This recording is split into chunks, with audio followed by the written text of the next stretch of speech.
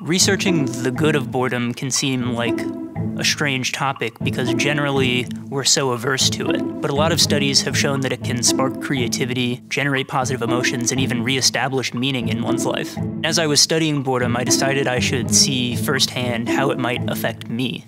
So I spent weeks boring myself to death. I watched an 11 hour movie, I listened to a 13 hour long song, I even watched paint dry for six hours. And you know, while doing all that produced some tedious moments for me, I still feel that boredom can be a productive component of a good and happy life. It's kind of like experiencing pain, which is an important signal that protects us from danger.